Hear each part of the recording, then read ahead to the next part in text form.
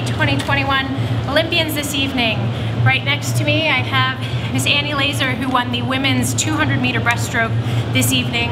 I have next to her Ryan Murphy who captured the 200 meter backstroke title this evening and at the end of the table all the way to my left is Michael Andrew who won the men's 200 IM uh, final this evening. So we will start with raised hands and we will get you a mic. We've got Peggy right here in the front. Hi, Peggy Shinn with TeamUSA.org. Annie, congratulations. Um, question for you. So, um, read a little bit of your background. In 2017, you decided to come back. Um, I was wondering what drove you back to swimming, what attracted you back, and um, did you reach? How did it work out that you reached out to Lily? That whole situation. Yeah, so um, I decided to come back because um, I was I was missing the sport a little bit, and I knew that um, if I was missing it at all, that I didn't want to look five or ten years down the road and regret um, not coming back in a time that I could. You know, I can work at a desk all my life, but I can't swim all my life. So um, from that point on, it was a pretty easy decision. Um, the road to be here was far from easy but um, I had amazing, you know, support staff and uh, teammates and family that all just you know, undoubtedly just decided to take this journey with me. And um, I just tried out Indiana for a week and knew it would be a great fit for me. Um, and I did actually have to, you know, Ray wanted to get the okay with Lily before I came and trained with her. Um, so I think for her to accept a competitor into her training environment kind of speaks the world about the kind of competitor that she is. Hi Annie, two questions for you. One, what was the desk job? Um, I actually worked at um, Cal Berkeley in the athletic department. Um, I was an operations intern with uh, men's swimming and beach volleyball. Okay. Um, and then what emotions did you feel? What went through your head when you turned around and realized that you had done it? Um, I kind of knew deep down. I hit the 150 wall and I was like, oh, I'm kind of a little bit ahead. I'm usually not ahead at the 150. Um, so I kind of knew um, that I'd be there, but just to hit the wall and look up and see Lily right there as well, um, it was just like practice every day. So um, it was a great feeling to have it be here on you know one of the biggest stages. But um, in reality, I just wanted to make it just feel exactly like practice. So yeah. Hi Annie, Nathan Fenno with the LA Times. Can you take us through how that relationship with Lily has developed over the last few months? Yeah, um, I think it's developed more in the last couple months than it has, you know, even the last few years, to be quite honest with you. Um, she's been there for me in ways that I can't even begin to describe. Um, you know, words kind of fall short, to be quite honest with you. Um, but you know what? Like she is my family outside my family. The people that I train with every day are my family. And um, the last few months for me have been far from easy. But um, she has kind of dragged me through the mud and pushed me every day and distracted me. And before we got up for the 200 breast, she told me she loved me and let let's just do this. And that was really all I needed to hear. For Annie, David Rieder from Swimming World tell me about that reaction. I, you got very demonstrative, very emotional. Tell me, take me through the moments with Lily. We, we, we did it. You're sitting on the lane line, getting out, hugging Ray, hugging your teammates. Tell me, hey, take me through what that was like.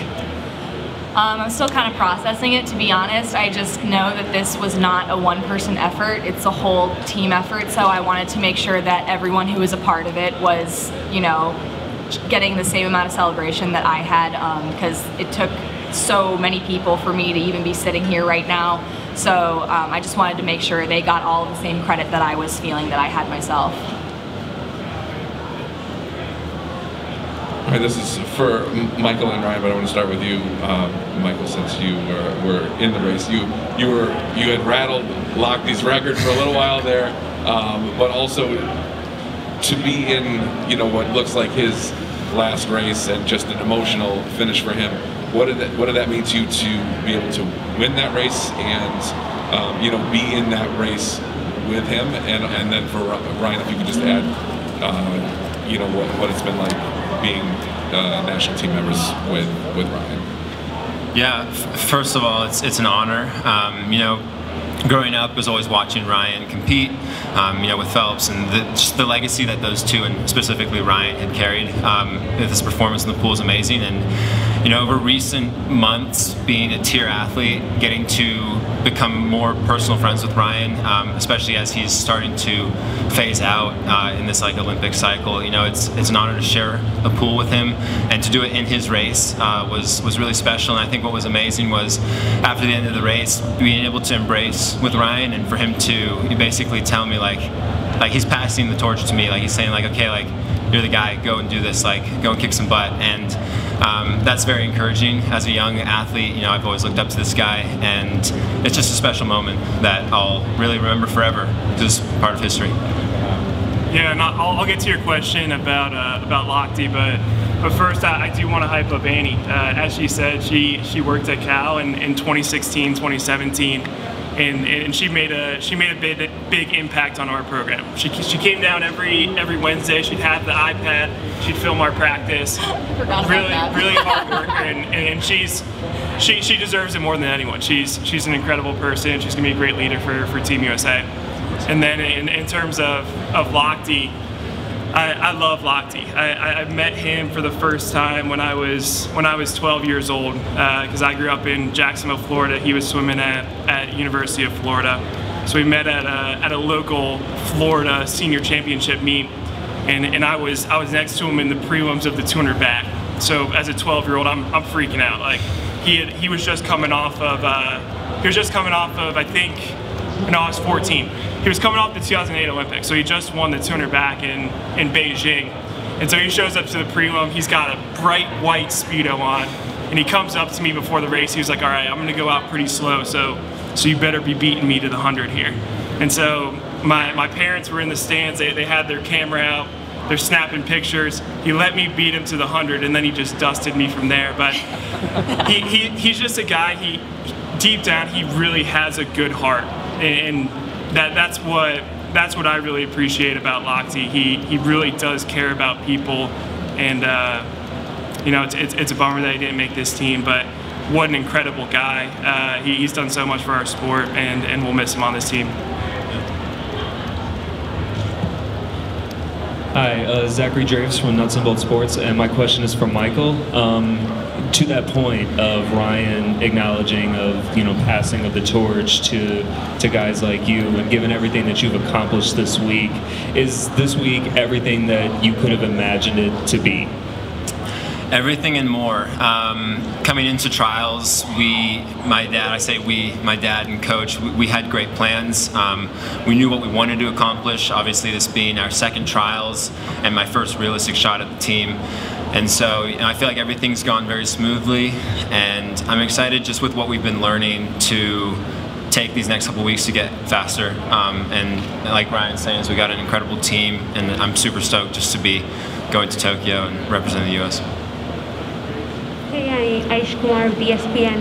Uh, congratulations. Um, when when you came back in 2017, what was sort of your dream situation? And could you talk a little bit? I know you said you couldn't form in words what Lily meant to you over the past few months, but could you talk? uh, Could you maybe try in in your own words what all of this, like the last three years, has meant for you and like where you are today? Um, I don't think I could have ever envisioned this happening. Um, when I came back in 2017 and 2018, there were a lot of times where I questioned myself, I doubted myself. I think even when I got to Indiana um, in 2018, I don't think putting myself on the Olympic team was ever like a solidified goal of mine, a, a solidified goal of my coaches. Um, I just wanted to work as hard as I could and see how good I could become. Um, you know, and I just think that hard work works, and um, that's honestly how I've ended up here. And I just can't really summarize it any more than that. And I've just had the absolute perfect support system, teammates, um, you know, family that just has undoubtedly been there for me every step of the way. Annie, um, after the 100 breaststroke, when you finished third, what did Lily say anything to you after that race to boost you up? No, and I mean, yes and no. Um, you know, that moment right after I got third, um, you know, I honestly kind of felt bad for a second because I wanted her to be able to celebrate the fact that she just made her second Olympic team um, and has been so dominant in that race over the last five years. Um, but I could tell she was very torn between wanting to celebrate and wanting to be heartbroken with me. Um, so I kind of felt bad for a little bit after that, that she felt like she had to, you know, pull her heart in two different ways. but um, you know what? After that, um, I, her confidence never faded in me. Um, I had a great race. I just got beat by the two fastest times in the world. That's all that happened. Um, so I didn't have, I didn't lose any confidence in what I was going to do in the 200, and neither did she. And um, to have, you know, one of the most confident swimmers in the world say that to you um, is pretty incredible. Annie, what led to you stepping away from the sport a few years back? I didn't make the team in 2016, and honestly, even five years ago, professional swimming is not really what it is now. Really, the only people that went pro were people who were surely going to make major international teams or were already Olympic medalists or what have you. So I didn't really think it was my place to go professional. I had already finished my career at Auburn just a few months before that and um, was really disappointed in how the last few months of my career went and wish I could have done them differently, but um, that's just how it played out for me. And so I was just really frustrated and just thought I needed that time and didn't really ever set a time for me to come back and didn't really think I was going to come back. Do you look at the sport differently because of the break? What what kind of perspective do you have that, that the break gave you? Yeah, um, it's a great question actually. Um, one of my coaches, you know, before we started this um, Olympic cycle, he sat me down and we were just kind of talking about our goals and what we think that I can do um, going into this Olympic year. And, you know, he sat me down and said, like, you have the other side, you've seen the other side of the sport that pretty much no one else that you're swimming against has seen before.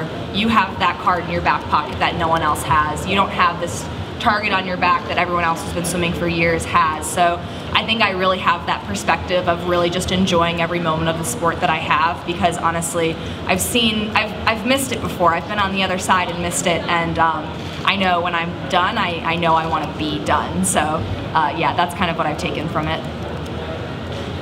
Annie, after what you've been through the past couple months, losing your dad, what does this moment mean in that context, having such a such a big moment right now after all you've been through just this year? Um, it's still kind of hard to put into words, honestly. Um, still like such a shock for me and my family. Um, but one thing it's taught me is that like the people that are close to me mean more to me now than ever. Um, and the people who are there for you and reach out to you, you know, in your highest of highs, but especially in your lowest of lows, words just fall short on how much it really means. Um, you know, I came here and I was really nervous to see all these people again. Um, it's my first meet since that's happened. And, um, you know, there's some people that like you don't need to say anything to know that they're thinking about you. Like when I got here, Ryan just came up to me and just gave me a big smile and a big hug, and like even that from someone like who probably knows, like he didn't have to say anything for me to know that he was thinking of me, and you know other people have done the same thing, whether they've you know given their condolences or just said I'm so happy to see you. Um, that's just meant so much to me, and. Um, again, you don't ever think words are enough for, you know, what it means for you in a time when, you know, you're trying to the last couple of months I've been going through trying to achieve the greatest thing that's ever happened to me while going through the worst thing that's ever happened to me. And I feel like sometimes my heart, for the first few weeks, it honestly felt like I was either choosing grief that day or I was choosing swimming that day. There was no in between. And um, yeah, but with the help of all the people who have just been checking in on me and supporting me and who have just pushed me every day and who have distracted me at practice and, you know, made meals for me and, you know, my boyfriend who just made the Olympic team and 24 hours later was on a flight home to my parents' house. Like, it's just, it's unbelievable the amount of love that you see from people who will literally drop anything for you in that time of despair. And um, yeah, that was a long answer, but that's my answer. Perfect. Thank you, everyone.